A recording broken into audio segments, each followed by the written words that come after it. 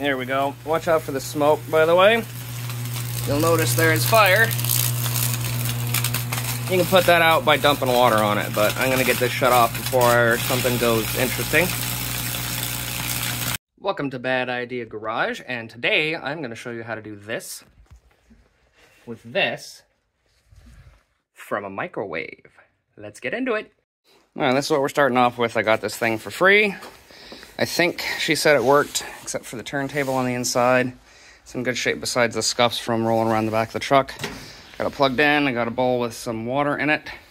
We're going to give this thing a shot. If I can figure out how to make this one work and see if it works, because if it doesn't, we cannot use the transformer out of this thing for our burner. So, we're going to let that cook for a bit. Okay, let's see.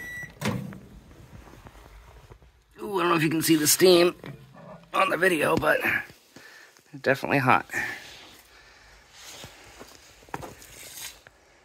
Cool. So we got us a working microwave. Now, let's get it ripped apart. Okay, so I gotta figure out where the hell it's actually at. Um, I think all the other ones I've done, they were on the bottom. So I'm gonna start busting out these screws. Try to get that off, and I'll show you what part we're looking for. So a couple of these are these uh, keyed Torx bits. Um, I don't have any issues with those with just a regular Torx anyway. Uh, if you don't have one of these, by the way, they come in super handy, especially for small stuff like this. So they come off pretty easy. Now we need to pry the bottom off. That shouldn't be all that difficult. But I don't know if I can do it with one hand. Here we go.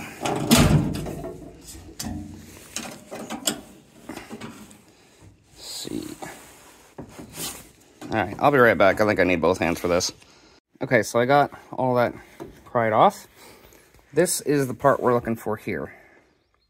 Discharge capacitor, talking about that right there.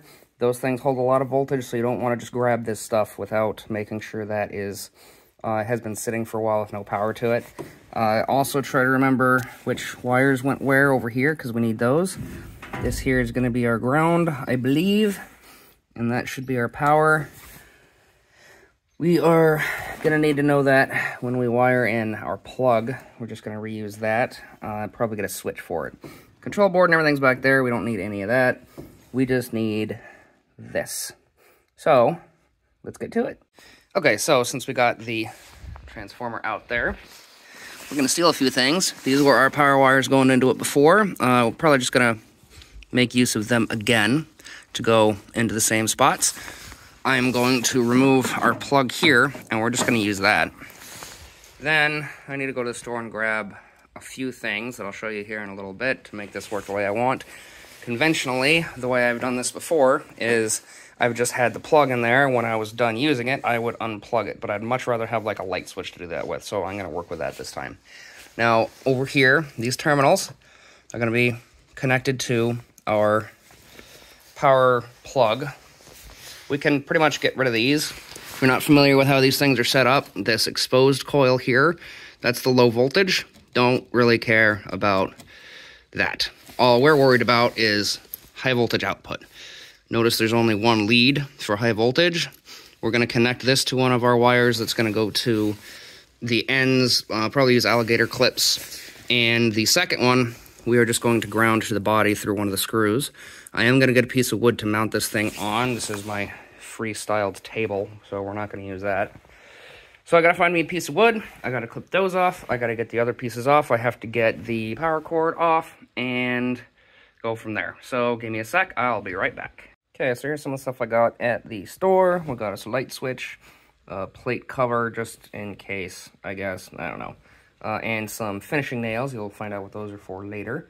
I also got a couple of these alligator clamps. I'm to clamp those on the finish nail. got to undo that screw and then bend the solid copper wire around like, get it off, like so, before you screw it in. I don't remember what gauge wire this stuff is that I bought. It's just red and small enough to fit in my clamps, so I didn't pay that much attention. Have connected with some butt connectors there. Same thing over here. That way I can unhook them if I ever need to. I went with solid wire because it tends to carry it a little bit better. I think we'll be okay with this uh, this wire here. We just have that grounded to the body. Uh, remember to sand this section here if you are going to do something like this so it'll actually connect. Next, we just got to hook up our power source here to our switch. Uh, an electrician I am not, so I am going to try to figure out how to do that. And I will be back in a little bit. Also, Beastie says hi. Hey, Beastie. All right, we got, I think, everything set up right. Uh, disclaimer here, by the way, don't do this unless you have at least some understanding of how electricity works. Uh, I know I made the comment about the light switch, whatever. It's actually easier for me to just hook this straight into a plug, but I wanted to switch this time. So yeah, don't do this. This thing can do a myriad of things. Uh, one, obviously it's going to run electricity through stuff, and it's going to work properly, but you don't want to touch the leads. Two, uh, it doesn't work at all. Uh, three, something goes horribly wrong and the thing pops. Or four, you run it for too long and let it completely short circuit out which you'll be able to tell. I'll see if I can get the sound difference on camera, and the thing catches fire. So don't do this if you don't have any idea how electricity works, but I'm going to show you what we got. Okay, so we got our switch wired up. The green one is the safety ground. As our black and white are our power and ground. We got those hooked up into the appropriate spot. Uh, the switch, I did just use a random piece of wood I found. The switch I just have screwed into the board. I'm not going to put that thing on yet. I'm going to wait to see if it works first. We have our leads, I already showed you. Ground needs to be down there, and this obviously needs to be tightened, I just noticed, so I'm going to do that real quick. Got our quick connectors here. And from there, all we need is a piece of wood to burn. This is where your finishing nails are going to come in handy. You just kind of tap them in. The alligator clips here are just going to clamp onto the finishing nails. That'll transfer the electricity into the wood, in theory. Uh, in the past, I've just used the bare end of the solid wire and sat it on there. Then you're going to want some water, and that is not sugar or flour. That is the cheapest baking soda I can get. You can just use regular water, but it really doesn't make a great connection. That baking soda is what is going to help the current flow through everything. Uh, you could also just soak the piece of wood first and then sprinkle the baking soda on top of it. I've done that too, but I'm going to get this thing soaking here. I think I'm going to set it down there on my plastic sawhorse. And also, you do this, make sure you have rubber boots on and don't stand in any residual water that might have dripped off your piece because that spells a bad time. Okay, we're plugged in. Didn't start right offhand, that's a good sign. See if we can do this without dying. Go. Nothing. I think I tripped my breaker. Okay, something's up with the switch, because once I wire it direct, it does what it's supposed to. By time to turn it off now. Okay, I figured out the problem. Uh, I was thinking automotive switch, where things are linear to each other here, but apparently you want the things on the same side. So, for instance, the white wire needs to be on the same side as the white wire, not across from it, vice versa. We're just to leave that ground off. We are deliberately short-circuiting this stuff in the first place, so I'm not really worried about that. But, you can hear it buzz, and see it go. There's little zappy zaps. See? I have no idea how toxic that smoke might be, by the way, so probably don't breathe that in.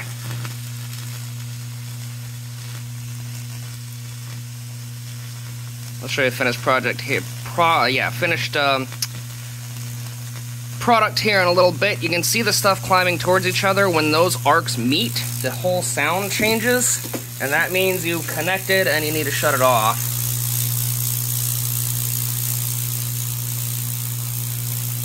I don't know if it's going to do it for me or not. It's getting close. Check it out. And there. Once it connects, that means you're shorted, and you'll just burn that up if you keep going. So, I'm going to let that cool off, uh, and I am going to try to wash it off and clean it up a little bit. I'm not sure I like the finishing nail idea. I might go back to the bare leads. But, give me a sec. Okay, we're gonna do this again just so you have an idea of what I mean when I say you can splash water on it. Whenever you get fires going, or if you lose your connection, you get your water, stay well away from it, and just kind of splash it down.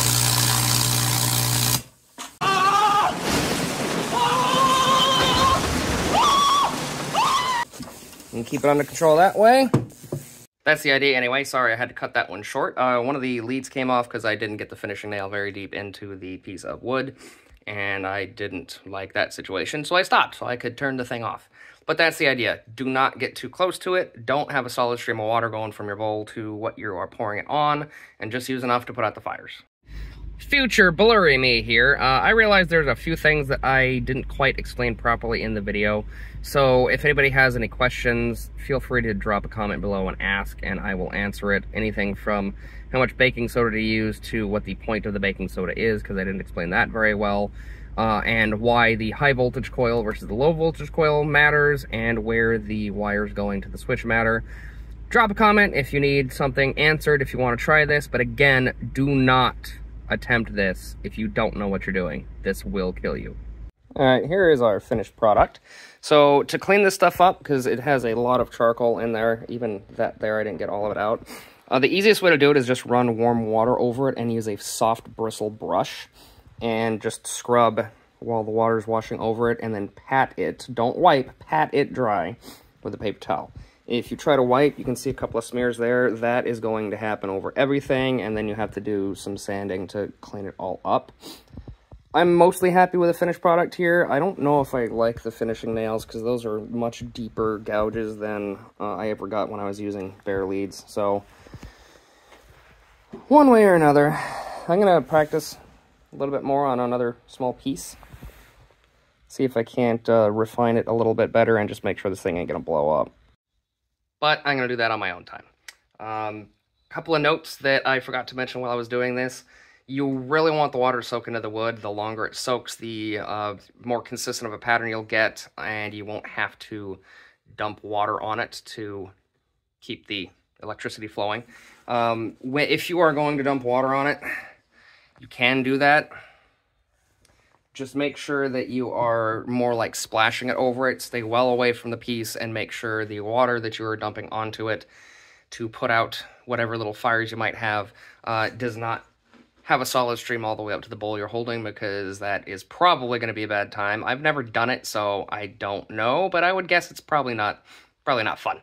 So that's going to do it for this particular video. I know this was a smaller project this week. I think I'm going to start uh, piecing together the go-kart videos and also trying to finish the go-kart, so look for those coming soon. But for now, I'm going to say peace out. Thank you for watching, and if you have any other big ideas, feel free to leave them in the comments below. Have a good week.